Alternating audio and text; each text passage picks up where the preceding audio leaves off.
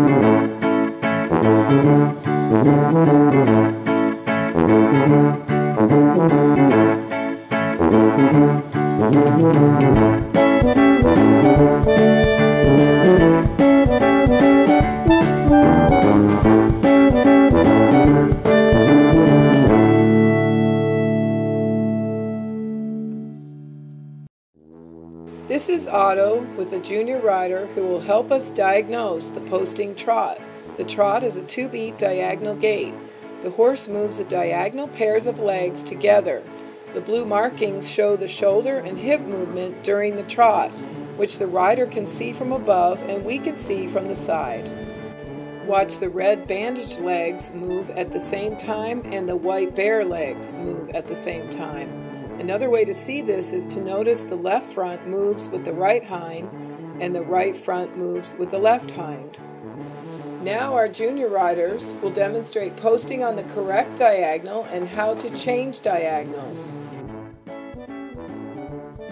The posting trot is rising up and down with a diagonal pair of legs while the horse is trotting. The correct diagonal is when the rider goes up as the outside front leg and inside hind leg are up and down when those diagonal pair of legs are down. It may be more clear now why you hear the words posting on the correct diagonal or when your trainer says you're on the wrong diagonal. Watch how the rider's body moves with the red bandages. This rider is on the correct diagonal. Some riders see their diagonals by looking at the shoulder. Notice the blue painted shoulders moving alternately. Ideally, riders feel the horse's hip motion and don't need to look at the shoulder to determine if they are correct. Notice how our rider on diamond is posting with the inside shoulder and therefore is on the wrong diagonal.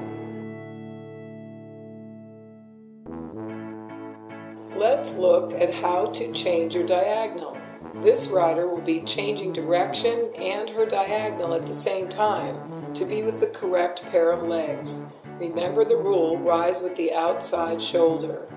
You will notice she sits an extra beat and comes up with the alternate pair of legs as she changes direction. Oops, watch your steering. Riders have lots to think about with learning to post and change diagonals. Let's see this again, changing back to the original circle, sitting an extra beat in order to come up with the correct pair of legs. Nicely done. Next, the rider will start out on the wrong diagonal, staying on the same circle and change to the correct diagonal. Notice sitting an extra beat in order to change. The horses are much happier when we stay in motion with them on the correct diagonal. When riders practice changing diagonals, they begin to feel when they are with the horse and when they are not. Eventually, the change of diagonal becomes smooth and unnoticeable. More experienced riders feel their diagonals and can use the timing of the horse's legs in transitions and even in jumping. Keep practicing and tune in again for more riding strategies.